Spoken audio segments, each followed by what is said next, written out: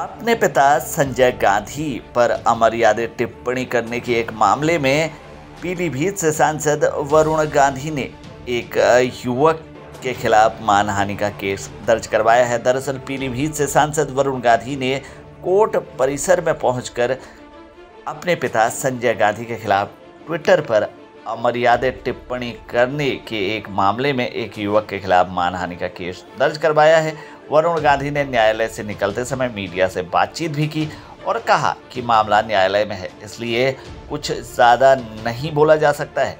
सांसद वरुण गांधी शनिवार को दो दिवसीय दौरे पर अपने लोकसभा क्षेत्र पीलीभीत पहुँचे थे। आपको बता दें कि शनिवार को दोपहर के वक्त अचानक वरुण गांधी अपने अधिवक्ताओं की टीम के साथ पीलीभीत के न्यायालय परिषद में पहुँचे।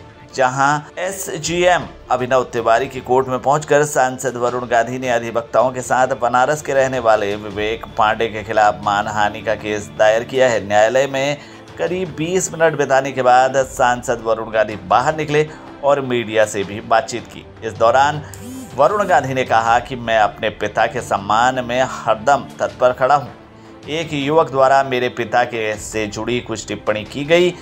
जिसमें मैंने मानहानि का केस किया है। मामला कोर्ट में विचाराधीन है, इसलिए मैं ज़्यादा कुछ नहीं बोलना चाहता हूँ।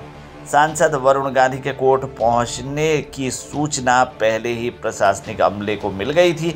ऐसे में पीलीभीत के सदर एसडीएम देवेंद्र सिंह और सीओ सिटी अंशु जैन भारी पुलिस फोर्स के साथ पहले से ही कोर्ट में मौजूद थे। वहीं सांसद वरुण गांधी के न्यायालय पहुँचने से पहले उनके अधिवक्ताओं की टीम भी तैयार थी। सांसद वरुण गांधी न्यायालय में मानहानि का मामला दायर करने के लिए अपने समर्थकों के साथ फिर से क्षेत्र में जनसभाएँ करने के लिए निकल गए। सांसद वरुण गांधी ने पीलीभीत के लौरडी खेड़ा इलाके में तमाम गाँव के में जन संवाद कार्यक्रम को संबोधित किया। इस दौरान वरुण गांधी ने ईमानदारी से राजनीति करने की बात की। साथ ही जनता के बीच उन्होंने बहुत सारी बातें की। इसके बाद जनसभाओं के दौरान फरियाद लेकर आए तमाम फरियादियों की शिकायत भी सुनी और अधिकारियों को शिकायत के निस्तांतरण के निर्देश दिए।